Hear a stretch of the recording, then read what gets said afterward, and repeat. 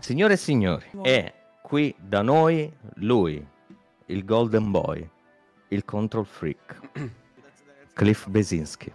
All right, I guess I'm the only one that, that's gonna talk to you. Okay. No, no, no. so, how are you? How was your I'm- day? I'm good. Uh, I got up at noon because I can. um, well, my wife and I are uh, we're night owls, right? Okay. Uh, you know, we stay awake till three, four in the morning every night, uh, playing games, watching movies. Uh, Match made in heaven. Yeah, no, it's uh, you know we don't have any kids, so and, I, you know I don't want any because kids are are, are parasitic sociopaths. okay. and uh, you know we're fi- we're fiscally slash financially comfortable enough to live a, a very co- comfortable lifestyle, and I basically just get to have a dance party uh, with my wife in our kitchen at 2 a.m. every night, and you know she's my best friend, and um, it's actually fun. Fun fact is uh, she's actually started doing the Twitch thing herself. Yeah. It's uh, Twitch. That's how I found you. Yeah, yeah, yeah. Uh, and you trolled right. me hard. you didn't think I'd actually like reach out, right? Like. no, I thought I thought you were your agent because because that's what your wife told me. No, no, it's uh, you know, I do have an agent, but um, there's a reason my my memoir is called Control Freak Control freak, right? Because uh, you know, I like to take control of things, and uh, you know, I'm I believe all eyeballs are good these days because I do have that book to sell. Got my dog comic book. Yes, I want to talk about that. That's the, the big one is coming out in two days, right? Uh, no, it's uh, April 23rd actually. Oh, 23rd. Okay. Yeah. So tomorrow. no, the, dude, it's, it's February right it's now. It's February. I'm, I'm stupid, dude. I'm working like a mule lately. You look like you're in a, like a wine cellar over there with that ceiling. But that's my house. Yeah. Nice, nice. Yeah, it's an old one. so beautiful. I'm, I'm gonna I'm gonna try to not rapid fire, but kind of kind of move along because th- they sent me a shitload of questions for you. Oh, your uh, your followers. Yeah. So I want to start with developer, game designer, Broadway producer, comedian, book creator, and apparently singer too. Is there anything you don't do? Um, cheat on my wife. Yeah. okay. Moving right along. well, real quick, the thing about like my my diverse uh, series of interests is that, um, a I like to learn new things, yeah. and b I like money, and so the thing is, is you know learning, you know, like you know, how like how stand up comedy works. You know, I, I go to the, our local comedy club about once uh, uh, once a week. I've become friends with a lot of the people in that community, and then you know uh, the Broadway shows I've been involved with. I really believe in, and just uh, you know, oh, you forgot the restaurants too, by the way. Oh, sure.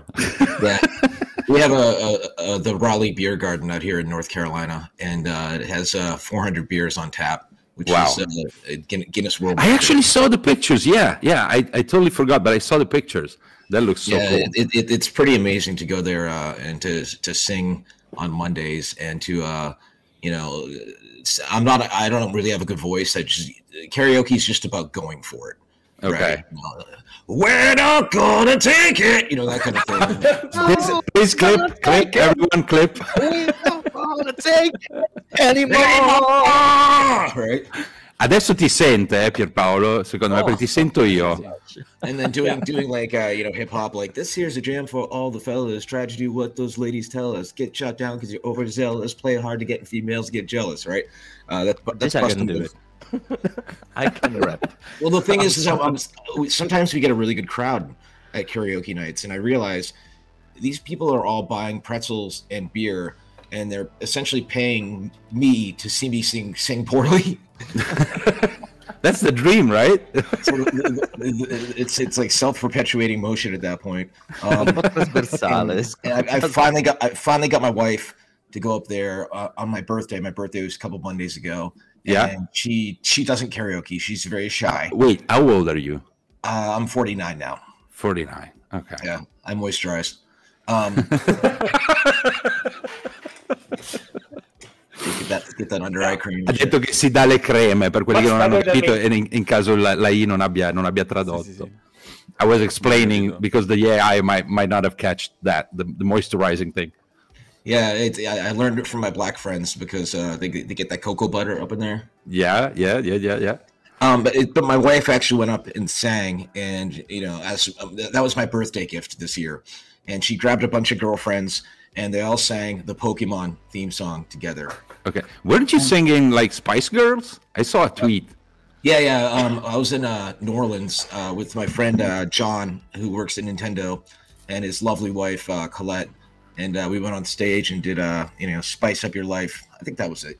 Um, yeah, she's she's his his wife's this lovely um, uh, blonde haired girl from from England, so she has the English accent, and of course, she loves the Spice Girls, and she looks Yep. like a Spice Girl. But that's uh that was in New Orleans. Uh, we went for Mardi Gras. We we do Mardi Gras every year. It's I have a question about a different tweet, and then I'm gonna go on with the with the chat questions because otherwise they're gonna kill me. Um, there was a picture that that needs some explanation that I saw. There was you getting shot in the ass with a Nerf gun. So what was the what was the situation there? That was uh, part of the Context. part of part of the, part of the stat. I can't remember what, what costume the guy was wearing. I think it was like a chicken or something. It was a chicken. Yeah, it was a, a duck. It was a yeah, duck. the duck, yeah. So the idea is that you know I became friends with some of the local stand-up comedians, and I expressed interest. You know, because you know, again, it comes down to community, and um, they do this thing about once a month called the comedy game show, where it's kind of like you know those classic '80s game shows like Press Your Luck or The Price Yeah. is Right. And uh, you know, so basically, you know, they, they take three comedians with a host. We go up on stage and they we do like you know qu- question and answer, you know, and like this the, the whole sequence is called press press your duck, and they had this like duck you had to hit on the table, Okay. and uh, you know it, it- they did like Q and you try to make it funny and things like that. And uh, so, but then you know the duck came out, and I, I got a question wrong, and so he, he had to shoot me with the Nerf gun. So I, I okay. So it's punishment basically. so I mean you know to, to make it funny, I presented my butt. Yeah, yeah. I, I, I, I, I, I, I think I think I, I think I still have that nerf dart, nerf dart stuck in my ass. So listen, the question on everyone's mouth is: Are you coming back to game development? Uh, I'm d- currently doing some consulting. Uh, Okay. Can we know about with who and for what? I can't really I can't really say at this time. Um, you know, But it's Gears of War. I mean, it's it's it's, it's just wink man. twice. Wink twice. Yeah, right.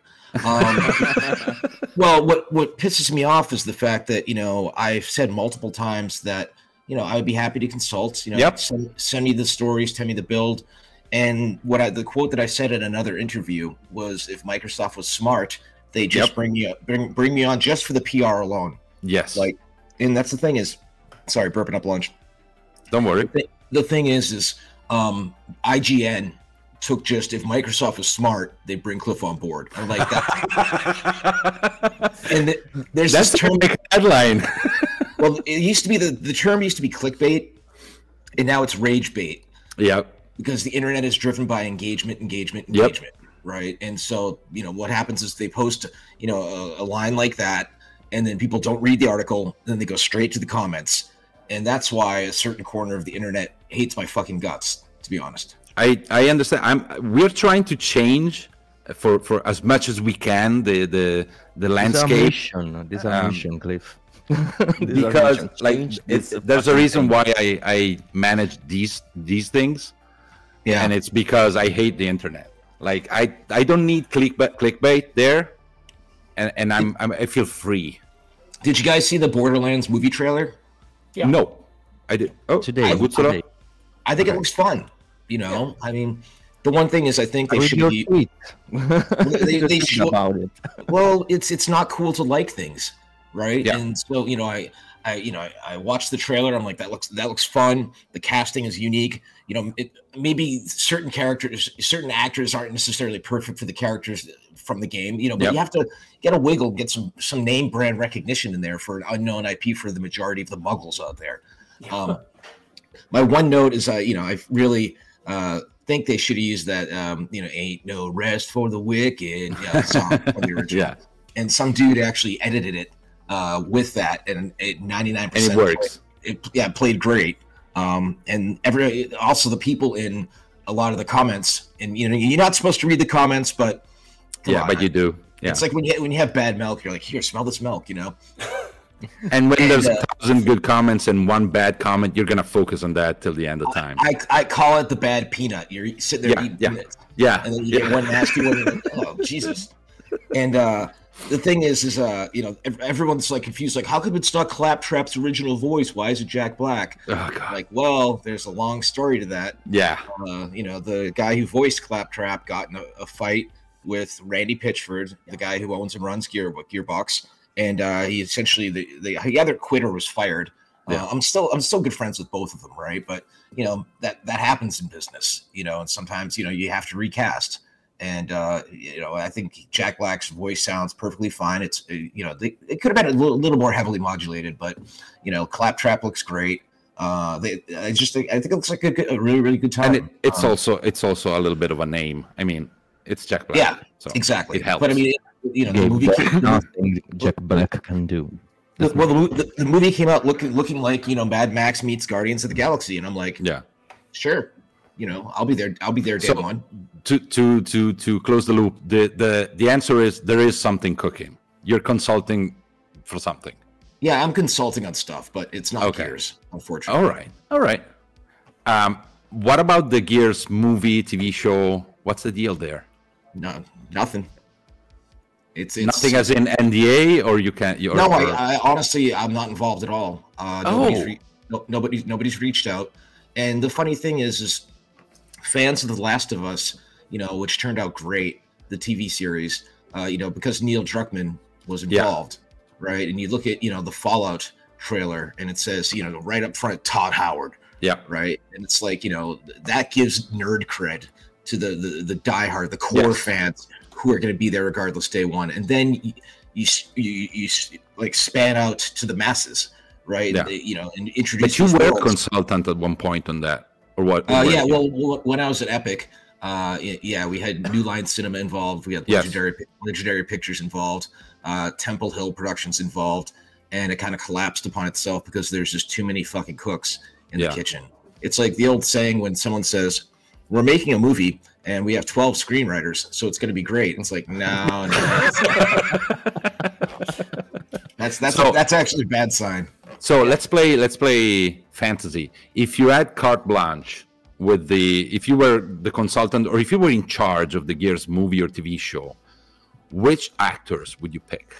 The For cast. which Uh. I I still th- you know I used to say back in the day that I don't think a wrestler would be a good fit, but I think Okay. Bati- Batista for Marcus would would be perfect. Uh, He's a and- huge fan too. Oh, I know. He, he he actually did a video of him in the armor and everything. Yeah. You know, his spitting spitting image of Marcus, and I think they put him in as an alternate skin in one of the recent Gears games. Yeah, they did. Um, they did in Gears Five.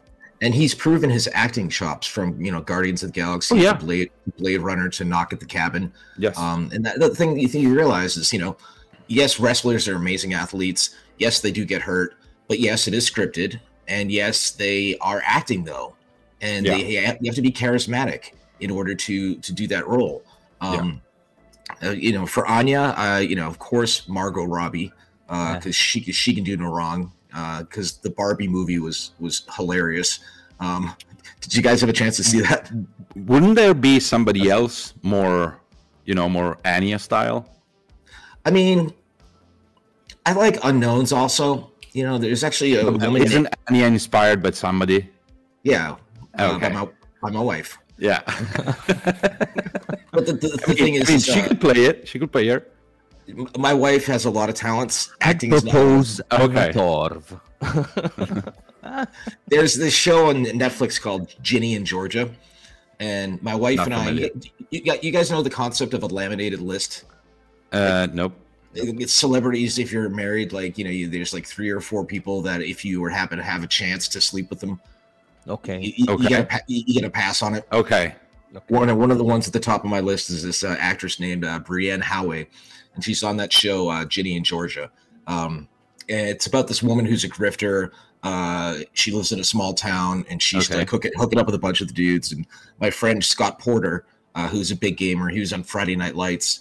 Actually, plays the mayor in the town. Then I'm like, oh, you, you get to you got to ki- you got to kiss her, Scott. Um, but it's, I it's I, know, mean it's, it's acting. But I, I you know I you know somebody was suggesting Jon Bernthal as Dom, but I think it's imp- I think it would be important to have an actual like Latino Yeah, uh, in, that the, in the too. role, Mm. and uh, you know Lester Speight uh, as Cole Train, or possibly um, he's a little bit older these days. Um, I actually became friends with Terry Crews of all people Okay. Because we have the same literary agent because he wrote his memoir, I wrote my memoir, and then my agent mentioned that you know he represents me, and Ter- Terry was in his office like, oh, I love his work, blah blah blah, and so Terry Crews and I are like sending photos of each of us reading each other's memoir on text messages back and forth. That's Um, pretty but cool. I think I think he could do, he could do a really cool uh, Cole Train, and you know somebody like a Chris Evans for uh, Baird, I think would be cool. Oh yeah, But he, he might be too big after all that Marvel money, you know. Yeah. so uh, I'm going. I'm going to go back to the Microsoft Gears and whatnot. Um, tell me if I'm wrong. During your final days at Epic, that's when you you introduced Fortnite, right? Yeah. I have, I know I don't know if it's true, but uh, what I know is there wasn't a publisher back then. Like No. it wasn't just a trailer; it was actually a pitch to find a publisher. Well, Epic had good relationships with their our, all of our publishers, GT Interactive through through the years. Uh, you know, we worked with EA on Bulletstorm, even though they didn't market it enough. And then, uh, which is now remembered as a classic for the record. Okay. Uh, and then, you know, Microsoft did a great job with Gears. Uh, but you know, Tim saw where the puck was going, as Wayne Gretzky, the famous hockey player, once said. You know, go where the puck is going, not where the puck is yeah. and Epic realized in order to maintain their independence, they needed to figure out a way to get Fortnite out on their own. Um, and so the thing is, is you know, it, it the Save the World, the first version, Mark Rein told me actually did fairly well for them. Okay. But then when they pivoted to Battle Royale, that's when yeah. it's just exploded and became. I you know, hate Fortnite, by the way. I'm sorry, but I hate it. I my, my my wife and I call it the F word. No, I'll tell you why. I was I was editor in chief of the Fortnite magazine, and when Oh, you okay. when you make a monthly magazine of a game that they patch every five fucking minutes, like you you end up we gotta go to print. Well, they just patched it. Half of the magazine is obsolete now. We gotta rewrite Yeah. everything in 24 hours. So never again. I hate that game. I'm sorry. Well, the the thing is, is uh, you know, I respect what their success. You know, I respect Yeah. what they're doing, but there's the thing is, is you know, when I was at Epic, I was an employee. I had Yeah. some some I had some stock options, etc. and you know, they they were, they were very generous with the bonuses. You know, hence you know, I had two Lamborghinis at one point. And the thing You is, have is, uh, one spare. what's what's that? you have one spare. One Yeah, spare well, no, it was it was it was his and hers. Capito? Era per lui e per lei. Ce ne aveva I- due, I- uno per sua moglie e uno per lui. Eh, giusto. I, I, I, I had the, più per me. I had the I had the Aventador, and my wife had the uh, LP 560 Spider. Okay. Go. so we we, we we would go we would like take it to like fast food drive-throughs together, and it's just you know, uh, I eventually you know realized like I'm not trying to impress anybody anymore. You Yeah. know, Uh, uh, they're they're beautiful cars. Uh, they're extraordinarily well made. Of, of course, lightning fast. Um, but and they'll, they'll always have a place in my heart. But you know, for me, when it comes to money, I like things that gain value as Yeah. opposed to you know having to spend you know Yeah, five thousand five thousand dollars on a tire if the tire gets a nail in it, you know, and then I have to I'd have to ship it off to uh, a place that's an hour and a half away, and it's just it's just a pain in the ass at that point. To be honest, my wife and I ra- rarely actually use our we, have, we we still have two Mercedes, his and hers, and uh, we we rarely drive these days. Like Is that, that know, actually the license plate? uh, no, m- mine says Phoenix. Okay. Wow. And hers, her uh, F E N I X. Hers says Epona. Okay. E- like that horse in in Yeah, but, but it's like, but it's it's spelled like pwnage, you know, like P W N, like Oh, oh, Epona. Okay, okay. yeah. yeah. So So listen, I, I'm gonna I'm gonna get back a little bit to the pitching and and Fortnite and whatnot. Oh yeah, Do you sorry. do you think? No, no, don't worry. It's just that I, in the interest of time, I'm I'm just gonna try to speed run and then we can shoot the shit as much as you want. I, I I'll keep you here all night. I, I have no problem with that. I know you have a hockey game to go to. Yeah. Well, the, the big thing about Fortnite is, you know, I'm not I don't see a dime off of it. And Okay. there's an there's an image in my book of Tim Sweeney and I, and it says, one of these people is a multimillionaire, the other is a multi-billionaire. Okay. Okay. But do you feel like pitching has changed, pitching games? Well, Uh, the th- well, the thing is, real quick to double back on Fortnite for a second, Yeah. the F the F word, is that it actually most of it came out of a game jam that they had at Epic. Yeah. uh, where they said, let's just see what new stuff we can come up with because you know Mike Capps, our old president, said gears might not always be cool, and it's not necessarily about gears being cool because in my heart of hearts, gears will always be cool. But you know, you got to get the get the you have to get the youth right, and Fortnite tapped into you know the the young crowd. Yeah. You know, I'll, I'll go to the mall and I'll see a kid wearing a Fortnite shirt, right? Yeah. But again, I, I don't see a dime off of it, and so you know Does it, it is what it you is. off a little bit. Uh, you know, it took me a, a while to get comfortable with that, and so I have a, a sign hanging downstairs that says "Comparison is the thief of joy." So, True. Okay. Wow. You know, just accept the fact that I, you know I have what I have, and it's you know it's motivated me to move on to other stuff. Yeah. Do you do you play it? Do you play Fortnite? Absolutely not. Okay, thank God. so anyway, no. What I was asking is, The second I saw Marcus Phoenix in there dancing, I was like, I was like, get the fuck out with that shit. fair, fair. So what I was asking is, do do you think pitching games has changed, like as as the industry moved to a more corporate structure, and and Well, what's the difference between back in the day and now? I could do a TED talk on this because Oh, please do. everybody like you look at how much it costs to make a AAA game these days, and then you know the price point is still sixty to seventy dollars.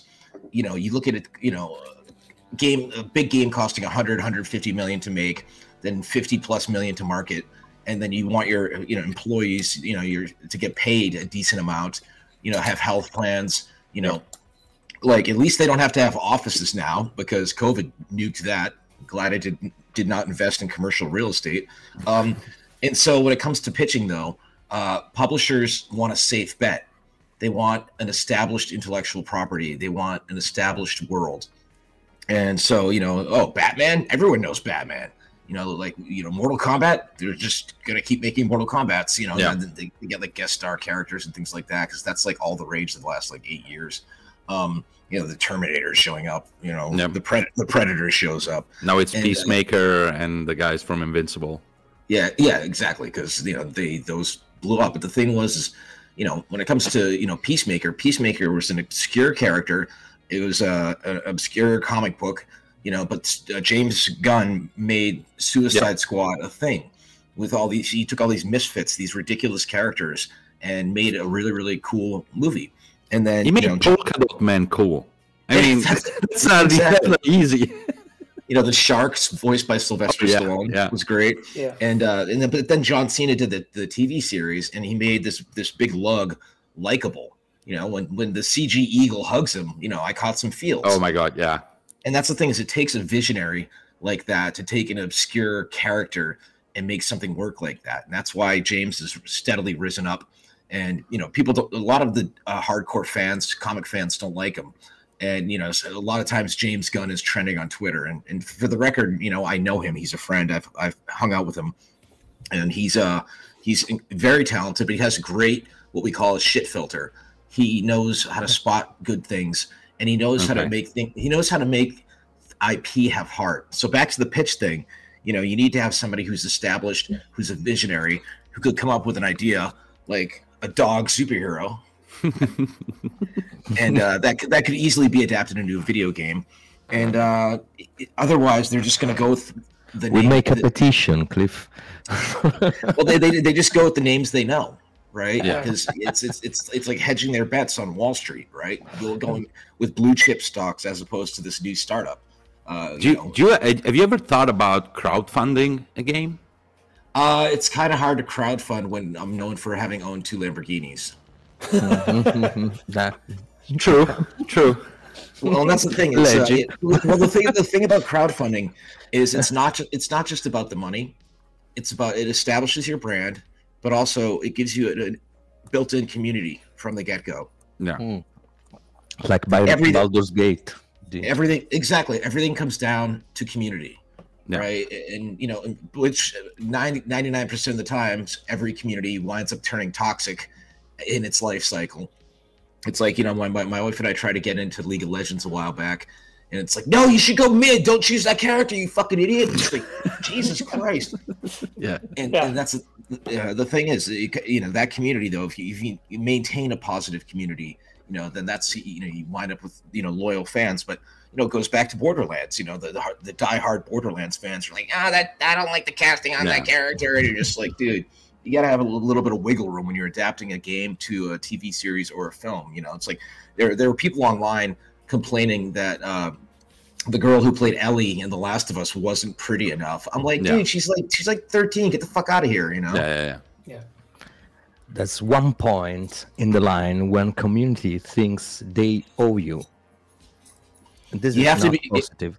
You have to listen to the community, respond to them, but there's a threshold there where you can't let the inmates run the asylum True.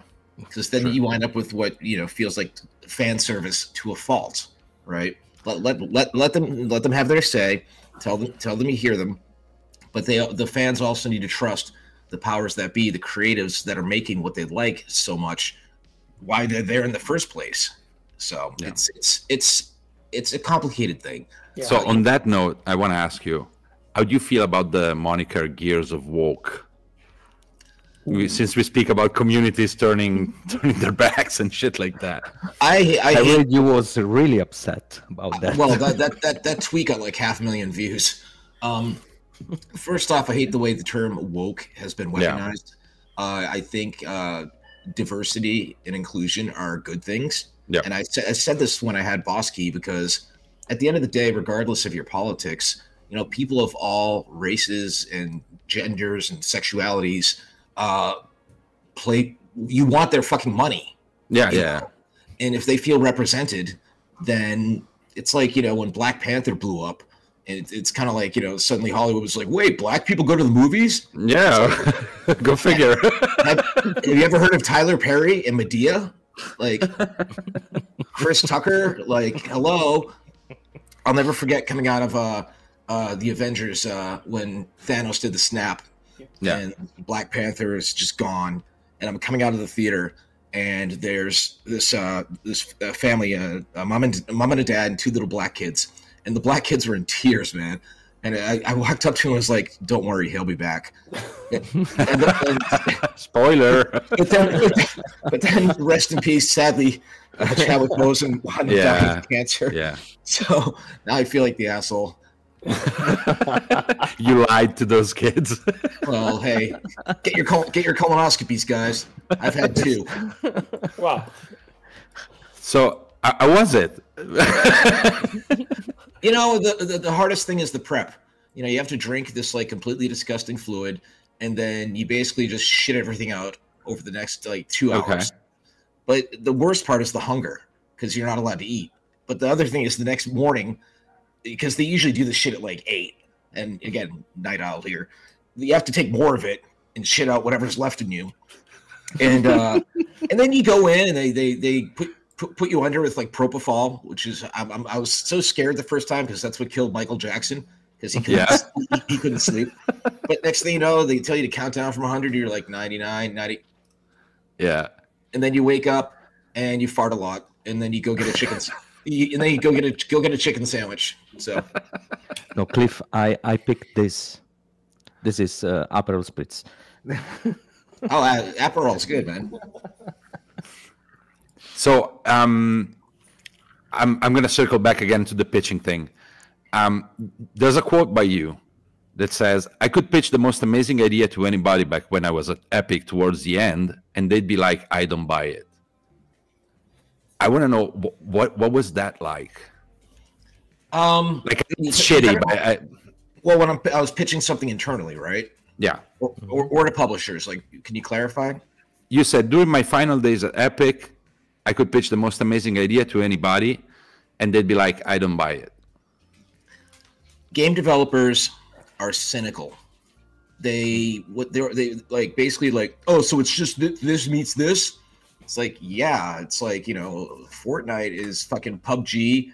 That's cartoony. Like Yeah. but with some building. That and Yeah. that's that's all you need, right? And I just you know once once Tencent invested in Epic, I realized that uh, I had enough money that I didn't have to argue with programmers anymore. Yeah. I'll never forget when I had I had the idea of the locusts not being aliens. I wanted them to be from the underground, which turned out to be a masterful stroke. Thank you very much. and uh, I remember saying it, saying this to like one of the really smart programmers. He's like, "I don't buy it." I'm like, "Why not?" He's like, "How did they get there?" I'm like, "That's part of the fucking mystery, dude. Like, we'll figure that out later." Yeah. which eventually was revealed over the course Yeah. of you know gears one through five um and it also goes back to the fact that you know with gears four i wanted the locust to have wings you know because Okay. the, the idea was that you know they were from the underground they were called grubs you know and you look at the, the life cycle life cycle of a caterpillar Yeah. yeah. it winds It's up getting it, The next step. Yeah. the, the chrysalis, right? And so, you know, by getting rid of emulsion, the locust natural life cycle was able to continue. So, you know, because emulsion made them mutate. So that you re- re- remove the, the mutagen, and then basically they, they go into that dormant state with the crystals on them. And then eventually they all reemerge, giant wings. Wow. And the, the, the tagline was going to be The evolution. Exactly, but, but imagine you know like you're you're hanging out and then they just come flying in. You know they come at you with like you know like they, they could stab you with the wings and you know you sh- you shoot the holes in the wings and you can see like the subdermal lighting on the wings. And then um, if they, they, they try to retreat, they start flying away and you, you shoot them more and then right. So much could happen with that. And the, the tagline that it had was before they came from below, now they come from above. Bam. And Boom. Game of the year. and then Rod's just like, nah, Già. fuck, let, us just do fuck, let's just do fucking robots. Ah, Yeah, yeah. Hai, hai una Lascia domanda, perdere. Maguzzolo? Che so che. Well, well, speaking about uh, pitching and publishing, I'm wondering, do you ever think about uh, a very small little game, uh, indie game like Vampire Survivors, for example? Or uh, I think that maybe your mindset uh, automatically goes towards uh, a big project. Well, Big games. uh, for the record, I love uh, Vampire Survivors. Yeah. I was hooked on that for like three weeks. Uh, it's so simple, but for some reason they just Yeah. it just got its hooks in me. Uh, the, the, the, the one thing where you're like playing, it's like just the tree that just like sits there. Yeah. it's so cool. Um, dead simple graphics. But the thing is, is what you know. Once it, it, it what that game mastered, I'll get I'll get to your your the, your question is the cycle of empowerment that a good video game does. You start off, you know, it's the hero's journey, right? You start off, you know, super weak, but by the end, when you get towards the- you know the timer's going, you're just plowing through like the biggest enemies because you pick the right power ups and things like that. And uh, if I if I were to make a new video game, I do something very very simple. The, the, only thing I play right now is my Switch. You know, like I loved I loved Celeste. I love Shovel Knight. I love like less is more for me. But my PlayStation Five is upstairs right now. I have not touched it. Right. I, I you know I play I play games on Steam as well. My biggest mistake with Boss Key, my own studio that I had, was I hired a bunch of AAA developers, and what I should have done was started off with a team of just ten to fifteen, and made a first game that was just a cool little experience, right? And then once we got traction, we learned how to work together. If the game was making money and we had you know a steady income apart from our sugar daddy publisher, Yeah. proceed to build a larger game and larger and then build the studio right uh, Yeah. the thing is, is lawbreakers took like nearly three years to make which you know every every time it popped up on the news uh gamers are like they're still working on that shit you know and we had like you know like six alphas six alphas and betas and the problem there also is the fact that the people who were in the initial alphas and betas were that damn good and then so when the game finally came out we didn't have that big of a player base, so the matchmaking couldn't properly work. So the, the newbies were getting completely decimated by the people who played the game Yeah. months ago, right? Because Okay. this the And skill would curve- just leave. Just unbalanced. exactly, exactly, and it wasn't just the typical you know FPS mechanics. You know, we had some very unique things in there with you know shooting behind you, variable Wow. gravity, things like that. Uh, you know, we didn't just have like the you know the mercy where you follow with the healing noodle, right? Like, and that's the thing is, you know, then people are like, it's just, a, it's an Overwatch clone. I'm like, oh, you really think, you, you know, we, we, we saw Overwatch and then we scrambled and, and put this together in a month? Like, Yeah. Yeah. sure, Jan. So, um, but the thing is, is uh, yeah, it would be something small. Uh, you know, I really love indie games. You know, I love it. I love it when something unexpected breaks out. You know, I, I don't know what it costs to make, but the fact that Palworld uh, did so well, you know, Yeah. it's like So what? it, it, my the, my thing about Did a good know. marketing though. Focused did- on uh, on Pulse, but that's yeah. much w- more. Well, I mean, much Poke. Pokemon's a bazillion dollar franchise. You know, Yes. you have an ent- entire generation. You know, my wife, that's her generation. You know, she's a '90s girl. And the thing is, is you know, ask yourself, you know, from a creative and a business standpoint, you know, what happens, you know, for for me, it- well, from the Palworld people, what happens when the you know people who love Pokemon grow up? You know, like Pokemon with guns and building and survival feels like a little bit Zelda like, right? Yeah. And my Makes thing about sense. well, my thing about my dog comic is, you know, what happens with the kids who love Paw Patrol grow up a When they grow up. Yeah. you know, so you know, there's I think there's room for a badass dog superhero that could easily be translated into a video game. Yeah. That if that were to be the case, I would hope to be of course well, since I own the whole fucking thing, Yeah. um I would Cliff, I think this is a special moment because we are we were the first to play video games, and now we grew up. We Yeah. need new things. We Yeah. are still here, still alive, still want to play. That sorry, Well, the, the- the, the- the the Mario thing that- accent. well the other thing the other thing to keep in mind you know going back to engagement and all that stuff is the internet loves weird shit. Yep. and we live we live in the world of twitch streamers and youtubers and tiktokers.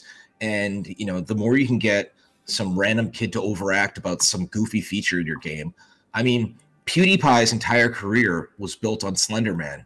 Oh mr slenderman you're coming for me ha, ha, and you know kids eat that shit up. And i tell my wife you know you know she's she's normally kind of like hey how's it going you know what's up i'm like overact overact you know Please don't. Please don't. But it works. It works. Yeah. You, you go to YouTube and like the fucking thumbnails make me want to stab somebody in the dick. yes. Yes. There's the whole- yes. the, the giant font. But you know, as they say, kids kids love that shit. And But it- I think the- I think it doesn't it doesn't really help the market though. Like When I see a game like what, what the fuck is the name? Only Up, the the biggest asset flip ever made. It's you you have to climb this infinite thing of things. It's called Only Up, and it was huge last year. It was like a five dollar game, and it, it got in trouble because it was asset flipping, but people were reacting to it, and so it got big. And I'm like, there's nothing here. there's literally nothing. Well, try working in AAA for 25 years and seeing something like that. You know, like uh, QWOP became big. Uh, Yeah. What's that game? You have the guy who's like in like the barrel and he has the pickaxe. get it, getting over, get, getting over Yeah, it. yeah, yeah, yeah, yeah, which was impossibly hard. But you know, there's also this community of like speed runners and people who Yes. want to be punished. You know, like you know the the whole uh, people who troll with Mario Maker levels that are just Yeah. nearly impossible Oh yeah, you know, like uh, uh, Dunkey, who's one of my favorite YouTubers. Uh, the thing is, he does really good content. He's fucking funny, right? And so, but then you have other people who just just put stuff out there, and I'm just like, uh, if people say they're content creators, and I respect people who do good stuff. Like you look at uh, the cosplayer Jessica Negri, who's uh, you know made a name for herself. She's beautiful, Yeah. et cetera, et cetera. She's got a great personality. Um, and the thing she she she yeah, she does she does her sexy photo shoots but you look at all, so much of the cosplay she does and it's fucking insane Yeah. my wife my wife does the cosplay thing too and i see the amount of work that goes into it yeah. uh, the, the sweat equity it's actually a fun fact is that uh on jess negri's uh instagram anytime she posts a photo and you see her butt i always commented all caps butt and then because jess is a friend of ours she's come to our comic-con party Yeah. and uh, you know I, I've hung out with her her dude. He's he's super cool, and uh, basically like somebody will try and rat me out to Lauren on Instagram, like tagging her like, "Are you aren't you married?" And Lauren's like, "I get, I get a photo at Comic Con every year in our photo booth of her grabbing my tits. Fuck off."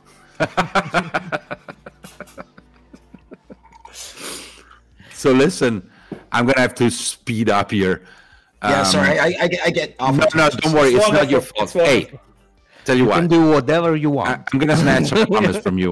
Are you gonna come back in the future? Not not next week, not next month, but just in the future.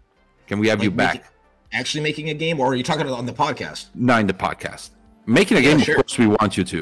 And and mean, just I- so you know, just so you know, here in this community, you're fucking royalty. I assure you. Especially this guy. Where is he? Above me. this guy. I, I don't know if you're watching on Twitch.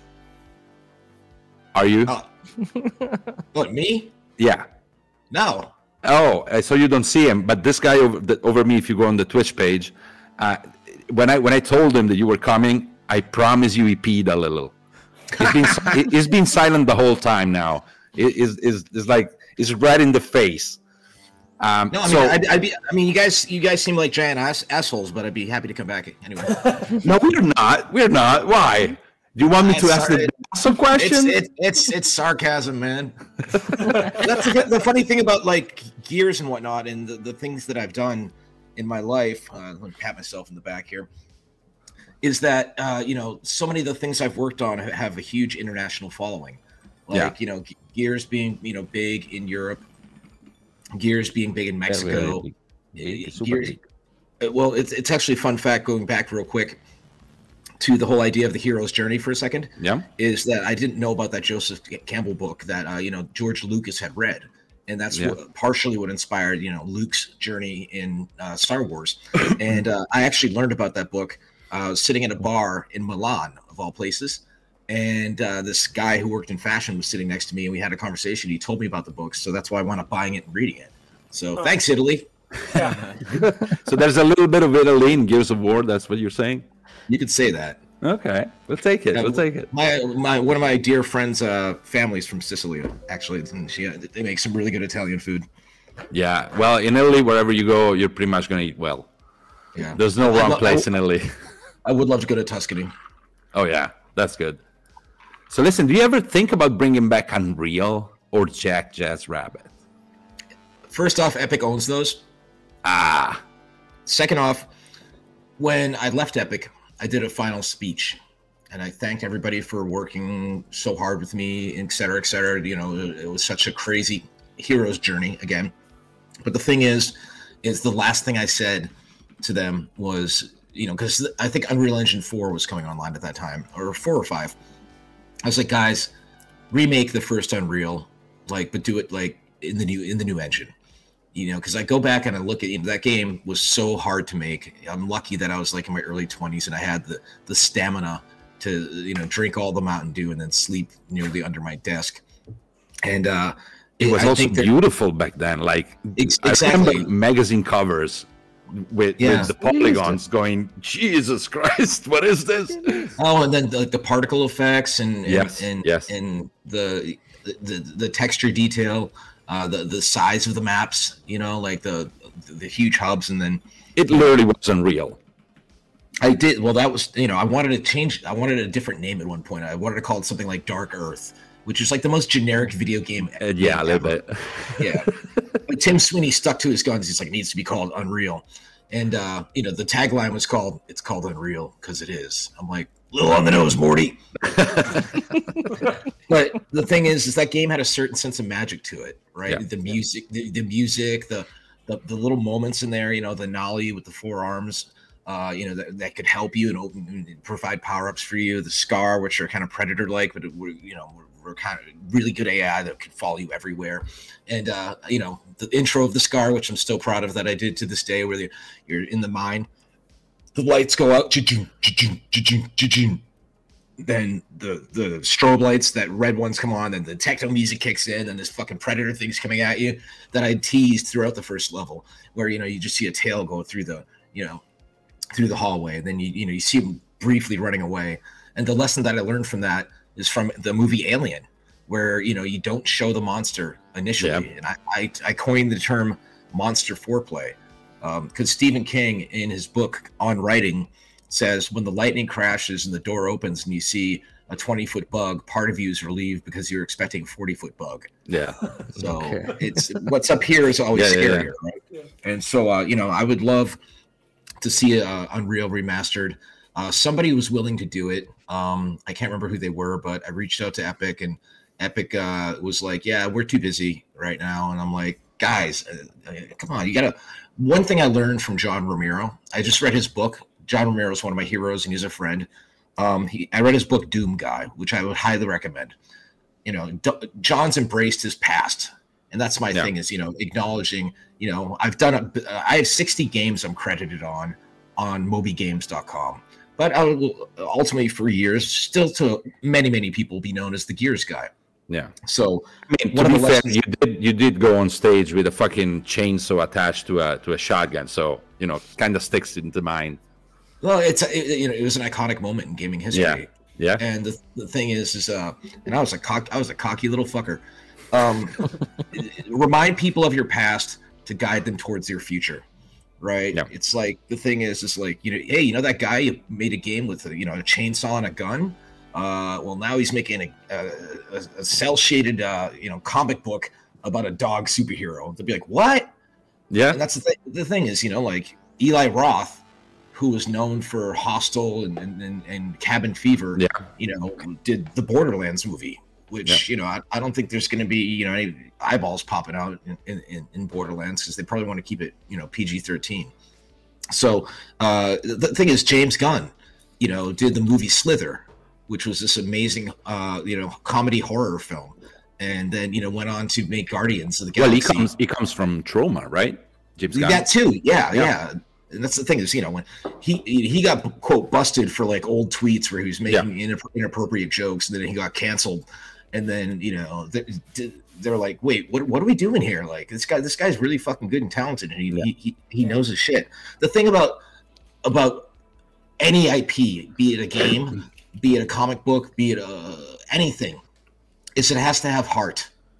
And that's the thing is Guardians of the Galaxy, you have a fucking talking tree and a talking raccoon and a, a blue girl and a, a green girl, right? And like uh, the thing is, it opens with Peter Quill not holding his mother's hand as she dies of cancer. Yeah. And then at the at the end, the way that they, you know, deal with the Infinity Stone and the power of it is they all hold hands. And then, you know, Groot says, "I'm just got goosebumps.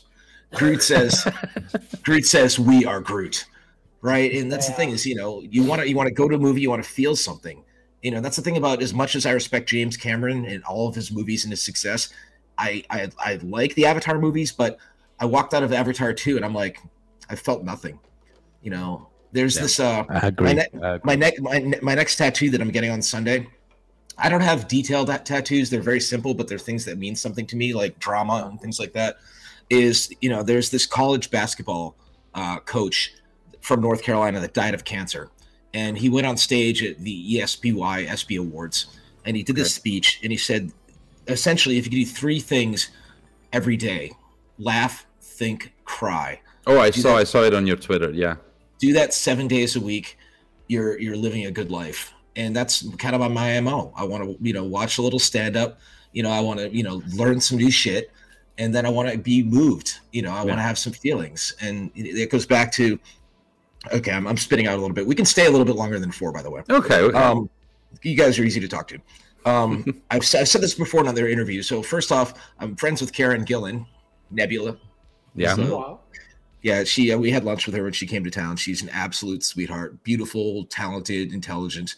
Um, and uh, the thing is, is uh, there's a scene in Doctor Who where they, the, the doctor and her bring Vincent Van Gogh uh, to the Musée d'Orsay in Paris, right?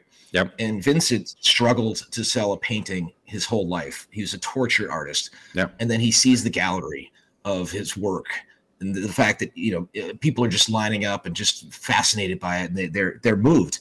And uh, the doctor grabs bill nighy not the science guy the british actor and says could you tell me what vincent you know how the impact he had? He said oh his work is he's perhaps one of the best and he was probably a, an amazing man etc and the actor who looks just like vincent you know starts losing his shit. And then the music starts swelling in the background and the doctor looks over he's like are you okay and, and he's like vincent is like no they're tears of joy and Yeah. then he, he gives him a hug, and you realize, you know, as a creative, yeah, you know, I, I do like to eat and, and pay my bills, but you, you just you just fucking want to know Yeah. that at the end of That the somebody day, appreciates it. Yeah. you made an impact on people. I, I was at San Diego, San Diego Comic Con doing a signing with my writing partner Alex DeCampi on uh, Scrapper. Because you know it's, really cool actually to be at Comic Con with an actual comic to promote, which is the first time that's happened for me. Yeah. And then um, this woman comes up to me. She must have been fifty plus, and she starts crying and telling me she brought her copies of Gears, and she's like, "Gears of War saved my life." And I'm like, and then I start fucking crying. And then I'm like, do you want a hug? And she's like, yes. and I, I gave her a hug. And the thing is about, you know, books and movies, TV, comics is, you know, you, you want to be able to kind of reach through the screen or you know, the, the I can page- promise you, uh, for much of the people in this chat now listen to you are the same. They cried, they laugh. Yeah, Just there's play actually a your guy- games. They There's love actually a guy in our in our community. I don't remember the name now, but he mentioned that he Gears helped him through his father's loss. So Well, uh, well, them- it's, that's You did a beautiful. lot. You did a Ge- lot. Gears was Gears was in, to some extent partially inspired by the loss of my father, and the irony is Lee Perry, my co-designer, and Rod Fergusson, my producer, lost their fathers at an early age as well. And the thing was, is you know, Marcus believing his father is dead, you know, because his father had to fake his death in order to solve the the problem that he saw coming of emulsion.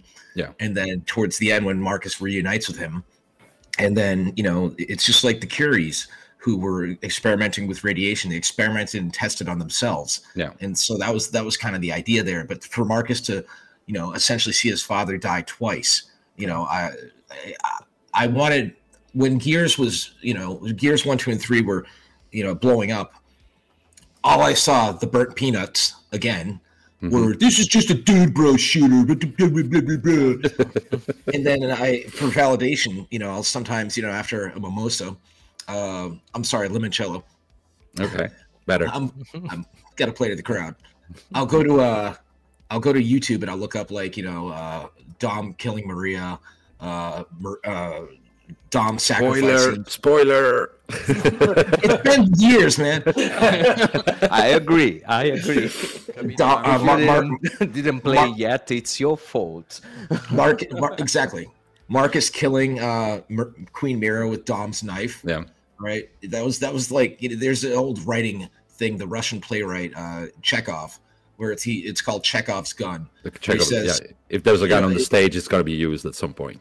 Exactly, and that was you know the, the moment when like you know one of the valves was stuck and Dom Yeah. gives his commando knife to Marcus, but he doesn't give it back. And then I was like, ah, we know where we're going with this, right? You want to know what was my moment in Gears? When the recruit gets shot in the head right at the beginning. Yeah. That for me was Right. oh shit, this shit is real. Like shit's getting real. That could be me. That that, that was my thinking. Like I'm not gonna I- I be one of those giant dudes. I'm gonna be that one. I, lo- I love the whole the fact that we use the death of a cute character to teach you about active reload. That's true. speaking of speaking of the Carmines, is you know my wife has a, a theory like you know I love Batman. Mhm. You know the thing she says she she prefers Robin because her theory is not everybody can be Batman. No. True. Then I'm like I'm the goddamn Batman. Did I tell you guys the Lego Batman story? Of Nope. course. uh, okay, so a girlfriend of ours is dating a tattoo artist, really cool dude, really talented, and it turns out he has a tattoo on his dick okay. of of Lego Batman. Oh man. Oh. I feel I heard this story on your comedy special. Yes, yes, that, that, Okay. I'll let you play. that, that, that he did himself. Now, I have questions. So apparently, he did have to be um, in the mood while he was right. doing it. And I'm like, is this guy like? Did he just like grind up a, a bunch of Viagra in a mortar little pedestal, and just like snort it? Like, and it's it's like like when he when he hooks up with our, our girlfriend, does he say like pulls off her panties and goes, "Where is she?" does he go, "Time to enter the Batcave"?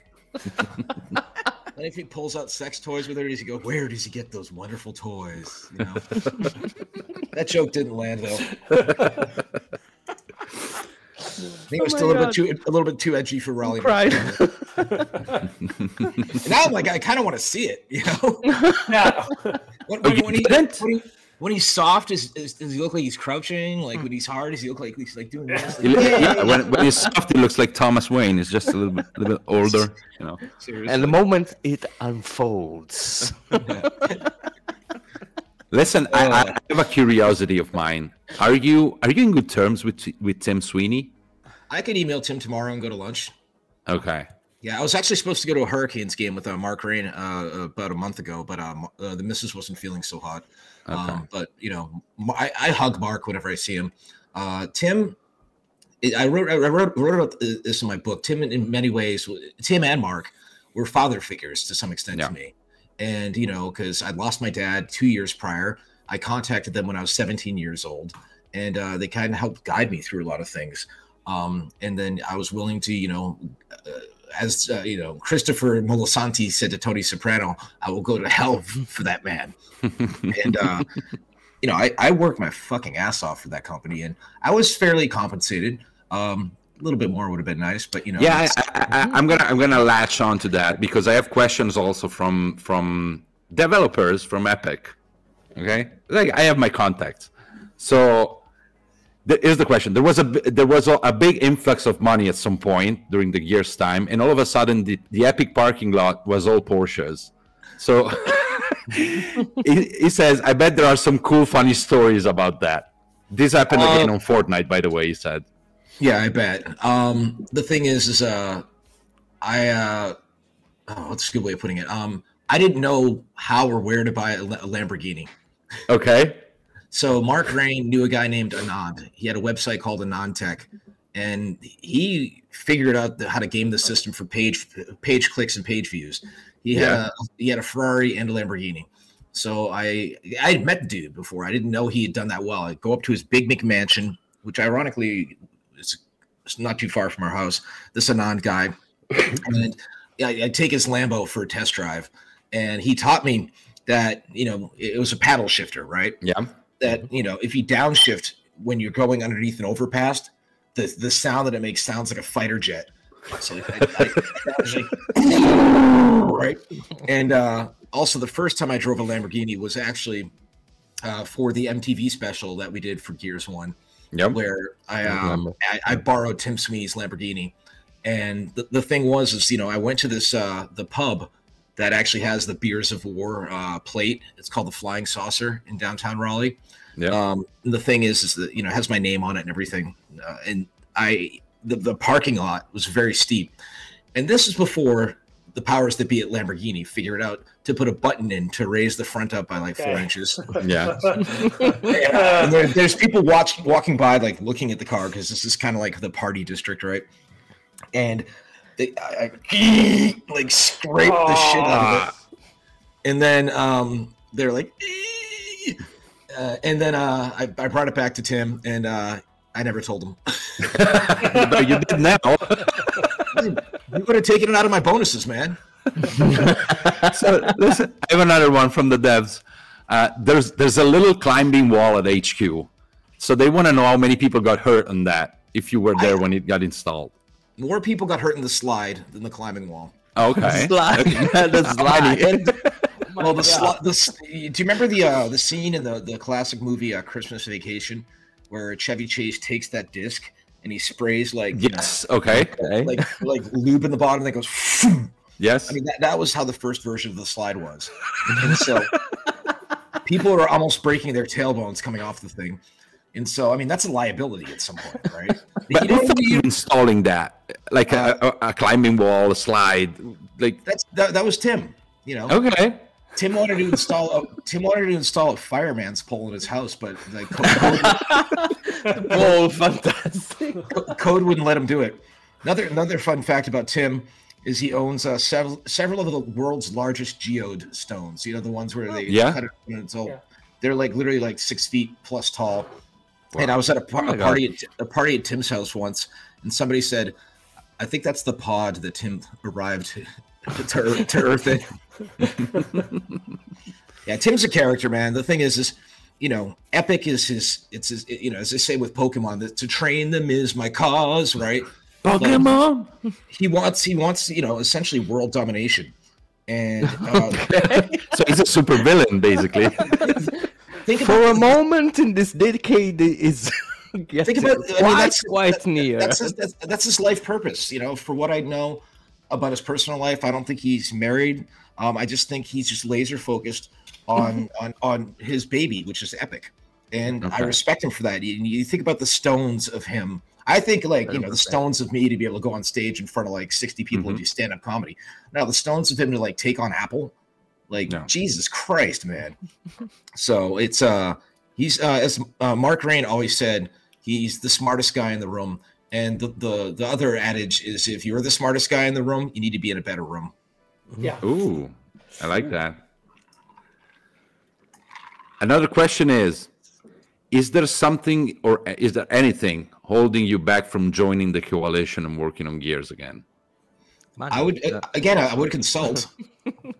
um, I don't I don't want to be, do the full time thing these days. You know, Yeah. I, I I love like one of the reasons I loved when I was working at Epic was you know Gears was my primary focus, but then I'd get a build of Infinity Blade. And I'd be Okay. like, oh, Donald, what, what can we do with this? And then I get a build of Bulletstorm, and I'd be like, oh, how about acting cat, acting cactuses that you could kick people into, right? Uh, you know, I, I had, you know, and then also I'd have to do a million interviews. So like I was wearing like six hats at one point. Yeah. And I mean, you know, imagine like, you know, working your butt off on various video games and then having to, you know, do numerous interviews, having to do E3, having to do, uh, you know, PAX, having to do, do DICE and all that. Uh, it's amazing I wasn't a cocaine addict or something like that. Um, so the media media obligation were a big were a big hurdle like then. Oh yeah, yeah. Uh, well, I learned, uh, you know, Dana Cowley, who's still there. She's a this wonderful, smart uh, woman who doesn't fucking age. Um, I, I had drinks there. I had drinks there like six months back. She's just hilarious. Um, she had so much going on that you know she wouldn't always tell me when I would do, have somebody there to do an on-camera interview. Yeah. And so I learned to basically like, you know, I didn't want to be a neck beard, right? So I had to keep this trimmed. You know, I had to keep everything clean. You know, I had to, you know, put on the under eye, going back to the the, the cream to, to do on camera. Put on a nice shirt every day and uh, be prepared. You know, Yeah. get my triple triple latte, and uh, you know, rock it. Always and, uh, ready on the spot. Well, that's that's the thing is, you know, I was a big a big drama nerd in high school. Again, going back to the tattoo Yeah. you know, I have no problem being in front of a crowd. I actually crave it. You know, when I do, I go to a, a random bar for karaoke, and there's only like six people. I'm like, fuck. like those those little rooms they have in like Asia, like I, I fucking hate them. It's like I'm, I I could sing in front of my friends in my living room instead. Like, Yeah. what's the point of this? Yeah. But like whenever I go to a place and it's just slammed, I'm like, and I read the room, right? I'm like, okay, if there's a lot of white girls, it's time for Mr. Brightside. Or going out of a cage and I've been doing just fine. gotta-" Or it's time for uh, I love killers too. oh, who doesn't? Or it, it's time for uh, Before He Cheats by Carrie Underwood. Um, and then if it's a predominantly African American crowd, it sounds cliche, but uh, you know, do a little hip hop and Okay. uh, don't say the word, of course. Um, and if it's if it's a gay bar, Are you working towards your pass for that? Like uh, you do enough hip hop? No, okay. dude, I'm fr- I'm friends with Ice fucking T, dude. Like Well, my my wife actually plays online games with Ice T's son. I, Wow. I think she's actually on a server with him doing the GTA role playing. Have you seen this shit, by the way? No. Mm. It's this mod for G- GTA Online where these people get together and they they play they literally like stay in character on voice comms. They Oh no, I saw the GT GTA RP. I didn't see that one you mentioned with Ice T's son. oh yeah, but the, the, GTA RP is is Yeah, so it's crazy. fucking it's brilliant. But the guys that developed the mod are now in the in the actual team for GTA 6. Yeah, I heard that, and I hope they So, got yeah. I hope they I hope they got fuck you money. Yeah, I hope they got That's- paid. That's, They that's, deserve. that's, that's what I tell people about the gaming industry. Unless you want to do this for the rest of your life, Yeah. get fuck you money and then get the fuck Get out. the money and run. Yeah. yeah, There, yeah. there are so many developers I've known who go gray at an early age. It was like when Obama first went in office. Oh my god. dark Oh my god. Yes. that that really has. I, you got a little bit of uh, gray right there, and uh, s- a couple of you do. But I, I, I, I occasionally one comes in, I take my razor. I'm not not today, Satan. No, no. I cherish them. I cherish them. It's wisdom. Well, that, yeah, that- that's that's Look at me, Cliff. I- I'm fucking Santa. Well, I mean, as a dude, you know, like if you can you grow a solid beard like you did, you know, do the shave the head, you know, it's a it's a cool look, right? yes, very sexy. Mm. So I have one last question that I'm gonna let you go. If you were consulting today for Gears, what would you change? Because Gears redefined the genre back when it came out, basically.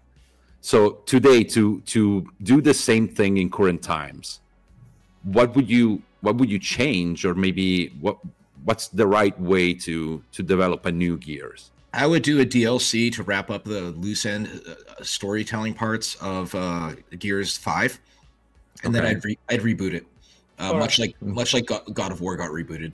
Uh, Some of the ideas, the free So, wait, ideas. so you mean soft reboot?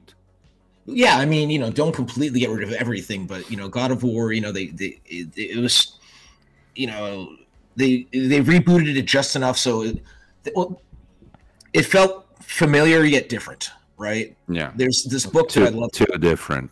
This actually, for book called well, this this book called Hitmakers, right?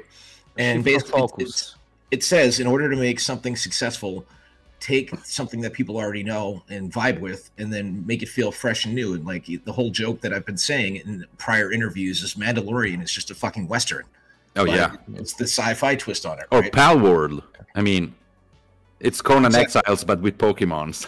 Well, I love I love Nint- uh, the the Pokemon Company and Nintendo's like you know like thinly veiled threat letter like hey nice game you have there.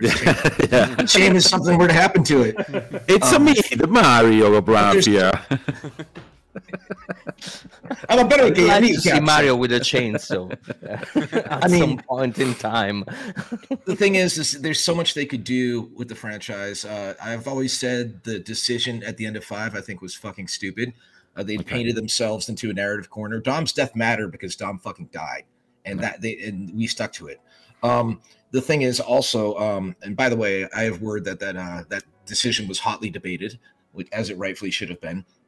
Um, you, you know, one Can you of the things expand on that part? that, that's all I can say right now Yeah, okay. um uh, you know i don't want to betray the circle of trust um the thing is is you know phil spencer said to the gears team you know he, he wanted to get more of the horror elements back in from gears one you know the berserker coming out out of nowhere uh the wretches you know Yeah. like that the the scary rainy scenes and things like that that cycle of fear and then empowerment right and so you know the idea that i had and again microsoft first one's free is to do an emergence day uh game where you know go go back to the beginning Mhm. and basically have one of the one of the Delta Squad characters, uh, and then they they're dealing with the chaos of it all, right? You have, you can have all the spectacle you want, but then you alternate between that and just a little kid, and a little kid who's just confused and scared. It's like if Joel and Ellie were permanently separated in The Last of Us, right?